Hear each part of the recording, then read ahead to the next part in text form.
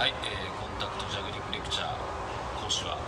パフォーマーカさんです。今日やるパフォーマンスはですねこれです。いつもやるパームサークルを手の甲でやるっていうテクニック。これをですね練習したいと思います、えーちょっとこの画像だと分かりにくいんですけどまずこういう状態で親指と人差し指の間に止めますで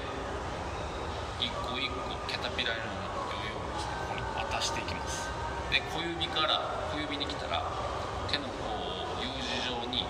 くるっと回して親指で保持します。で回して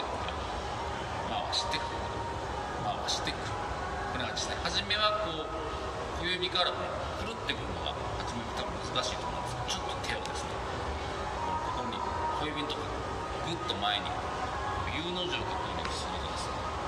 戻ってくると思いますので練習してみてくださいでは初めのうちはですねこう、まあ、自分のやりやすいところでパームサークルをやって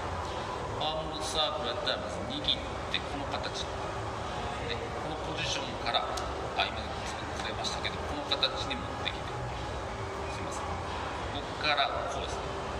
ちょっとここをしっかりしたと今みたいに失敗すると。でぐるっと回してまた戻る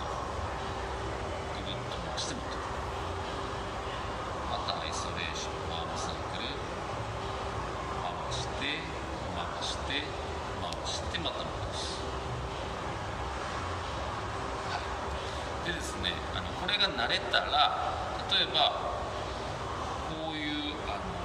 よくあるルーティンあるじゃないですかこれを手のひらで取らずにこのように手の甲で取って手の甲に渡してまた戻って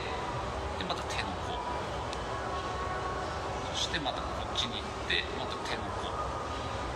手の甲。でまたパームサークル手の甲ですね手の甲をまた握って手の甲。あ今言ってます。手の甲。手の甲か。ら手の甲で連発。はい。まあコツは今ちょっとダメなんですけどやっぱやってて球が動かないようになるべくそこに、えー球がね水晶が動かないようにしてやってみてください。ということでこここここここここから今日はパームサークル手の甲編をレクチャーしました。チャンネル登録もよろしくお願いします。以上青間かさんでした。